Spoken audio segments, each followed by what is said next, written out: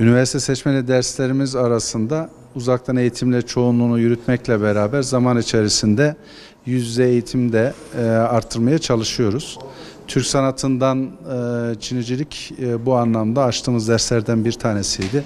Bugün ürünü e, ortada öğrencilerimizin hocasıyla beraber çalışıp ortaya e, koymuş oldukları bu sergi e, ne kadar doğru bir yolda olduğumuzu göstermesi açısından önemlidir.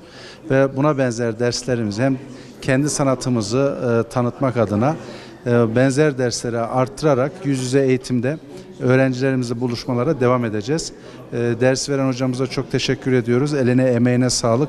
Öğrencilerimiz çok farklı fakültelerden, meslek yüksek okullarından e, buraya e, gelip bu dersi seçtiler. 36 öğrencimiz. Onların ürünlerini şu anda burada izliyoruz. Her birisi birbirinden farklı, her birisi birbirinden güzel, her birisi ayrı bir emek isteyen, zaman isteyen işler ama bunu ayırıp bu sergiyi sağlamışlar.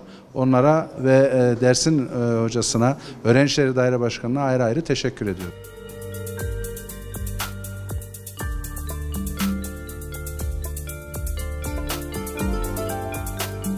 E, bu dönem 2021-2022 öğretim yılı e, bahar döneminde açılmış olan ÜSD dersi kapsamında 36 öğrencimizle e, Baba Nakaş üslubu ve naturalist üslup desenler üzerine tabak tasarımları uyguladık. E, sergiye katılanlara ayrı ayrı teşekkür ederim. Bize bu imkanı sağlayan e, rektörlüğümüze ve daire başkanlığımıza teşekkür ederim.